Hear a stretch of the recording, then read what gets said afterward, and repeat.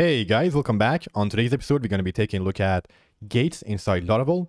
Uh, it's a way to define permissions and do basic role validation slash authorization in your applications. So let's get started. On the previous episode, we created our admin page and we used a simple middleware.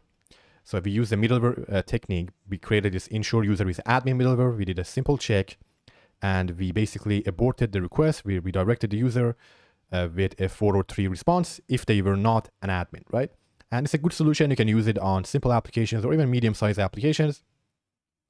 However, Laravel does provide an alternative solution to this using gates, and it allows us to define not only roles, but also permissions, right? So our uh, middleware is a little bit hard to define permissions with it. So let's go ahead and see gates work in action. So the first step is you need to actually create some gates and you create your gates by going inside your app folder, inside the providers uh, folder, and then under auth service provider, right? Now, I still haven't covered service provider, so I'm not going to go too in depth into it, but basically know that you need to go inside your auth service provider under boot method.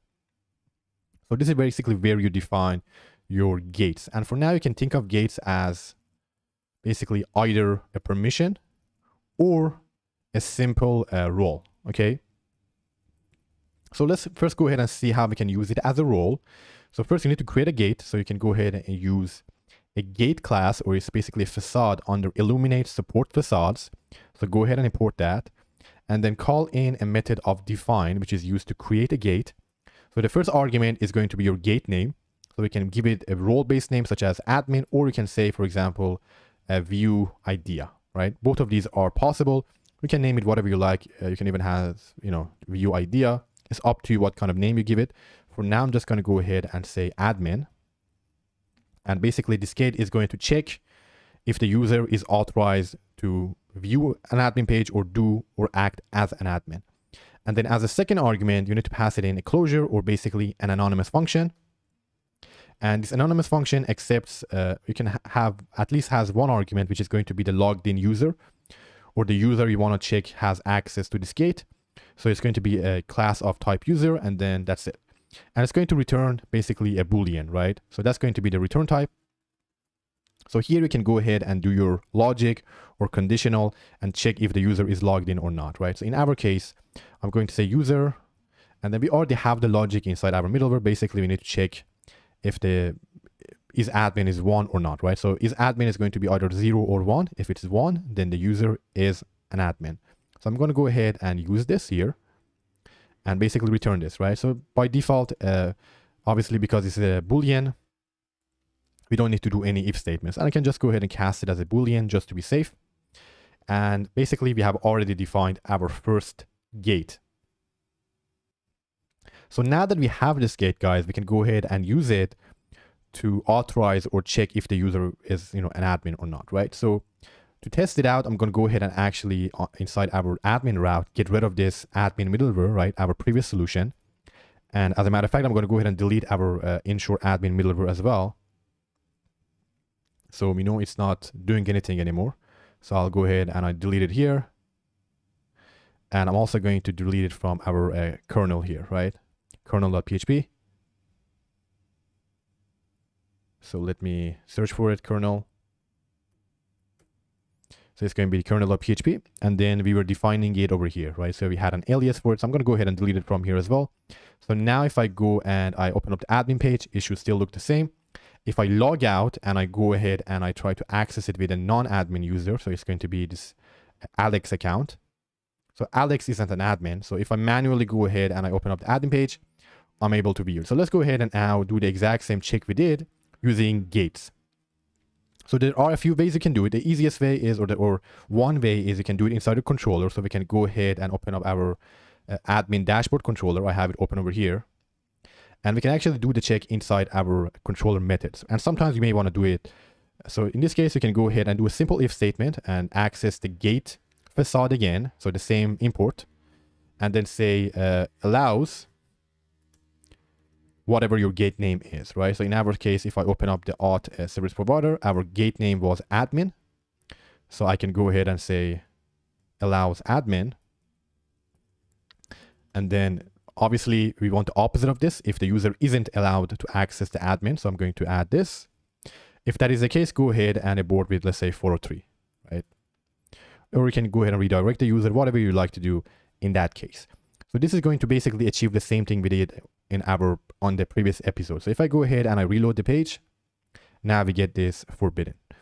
Now this is useful. However, this can be annoying because you have to do it on every single route. So there is a shortcut for this. I'll show you guys in a second.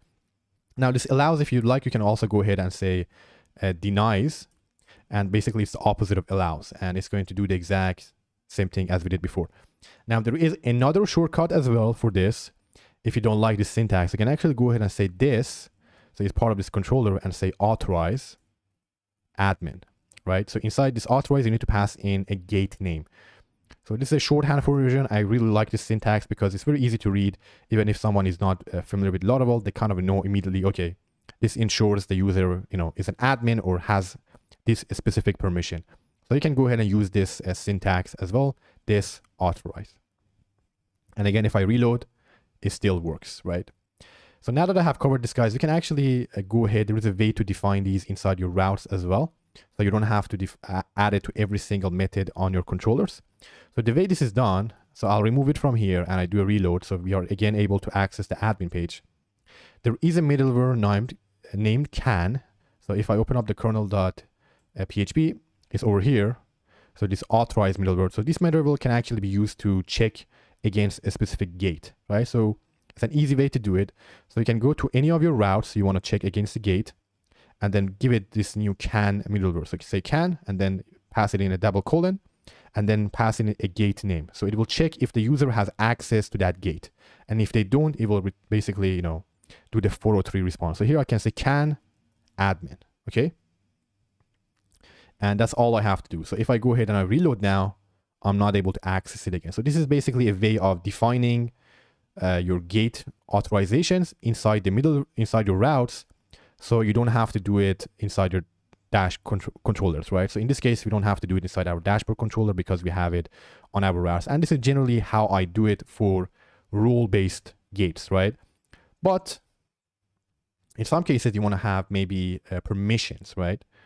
So let me show you guys an example of a permission, right? So I'll go back. So one permission we have on our current application is the ability to edit or delete an idea, right? So in our case right now, we have a permission, basically only the owner of an idea has the ability to edit or delete basically their own idea, right?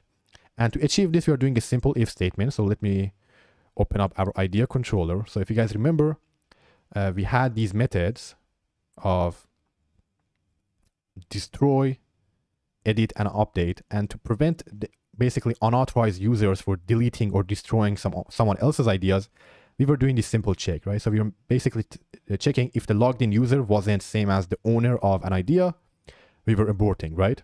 And the solution does work. However, it can be a little bit annoying and it's also hard to scale. You do have a lot of duplicate code. So what we can do is we can actually go ahead and use gates in this instance, right? So let's go ahead and do that. I'm going to go ahead and open up our uh, auth service provider.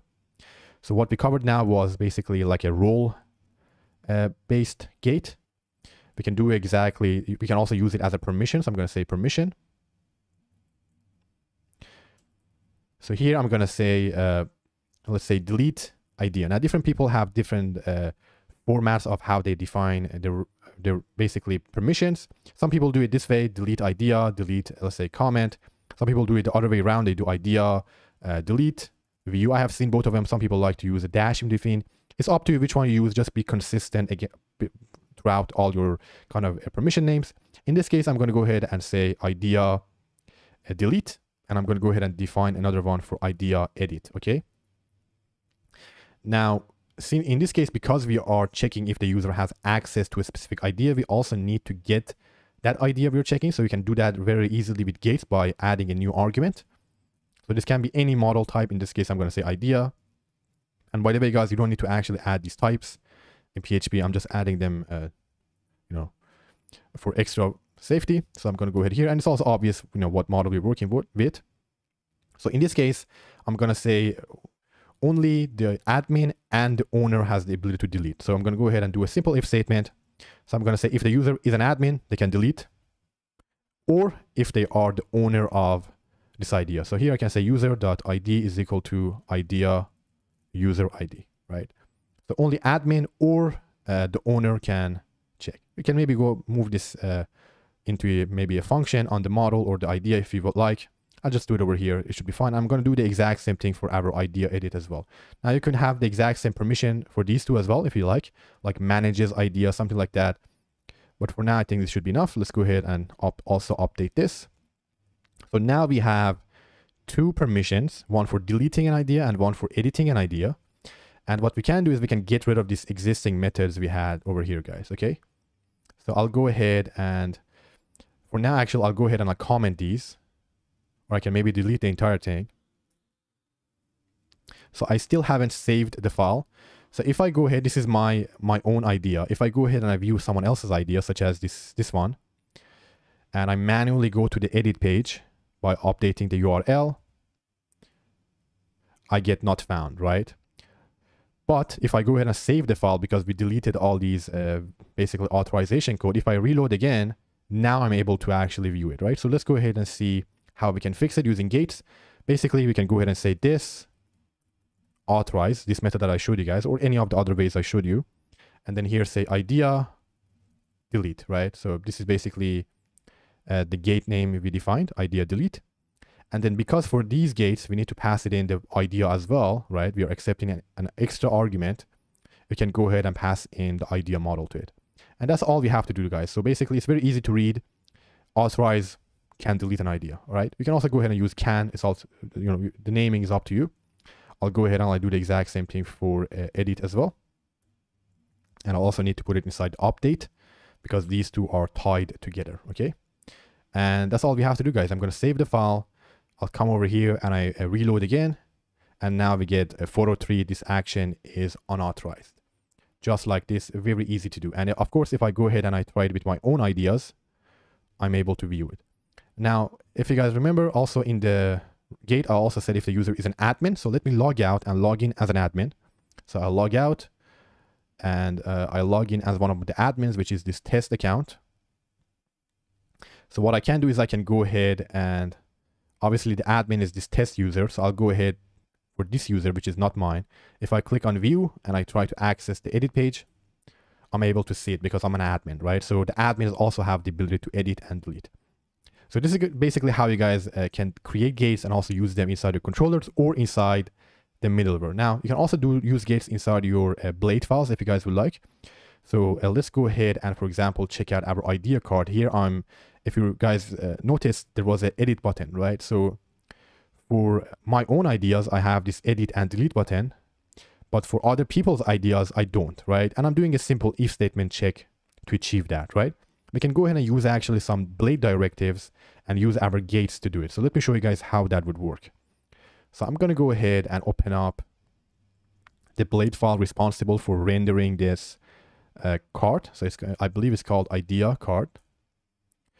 And if you actually pay attention over here, I'm doing a very uh, you know, simple if statement, right? So what I'm doing is I'm saying if the logged in user is basically same as the owner of this idea, go ahead and display the edit button as well as the delete button, right? So what you can do here is instead of doing this if, you can go ahead and use a blade directive called can and say can and uh, uh, basically uh, VS Code has already done it for me, but basically you need to do end can after after it. It's like an if statement. And then this first argument is going to your, be your permission name. So in this case, for us, it is uh, edit or delete. In this case, both of these are exactly identical. So if you these, these were different, maybe they had different conditions. Uh, you could have two cans, but in this case, I'm just going to go ahead and say can uh, idea.edit. And then the second argument is going to be basically whatever extra arguments you're passing in, right? In this case, it's going to be our idea. So I'm going to go ahead and say idea, this variable over here. All right, and I'll save it. And if I reload, uh, as you can see, it's still working. And I'm also, because I added this, uh, I'm also able to see other people's uh, delete and edit buttons because I'm an admin, right? So if I log out and I log in as a regular user or as a non-admin, I'm no longer able to see it, for example, for this test user, but I'm able to see the edit for my own account. So basically you can use this uh, can inside your blade files as well, as well as inside your controllers, as well as inside your route files. So that's the basics of gates inside Laravel. Now there is a little bit more to it as well, but this is the very basics of it guys, and it should be enough to get you up and running. Now there are some limitations with gates. First of all, it's a bit as your application scales, it's going to be a little bit hard to manage all of these. So Laravel does have another uh, solution for this using policies. I will try to cover that on a different videos. But for simple applications, if you just have like one or two roles, let's say admin, uh, let's say editor, like two, three roles, and then maybe one or two permissions, gates are very easy to work and you can just use them in, a, you know, define them in a couple of minutes and use them throughout your applications. So for simple applications, I think it's a very good uh, thing to use. But for more, more complex application, you probably need to use a combination of gates, policies, and maybe some other stuff, okay? So if you guys have any questions, you can leave it in the comment section below. As always, if you enjoyed the video, make sure you like the video and subscribe uh, if you still haven't and you're new to the channel. And I see you guys on the next episode. Have a great day. Bye.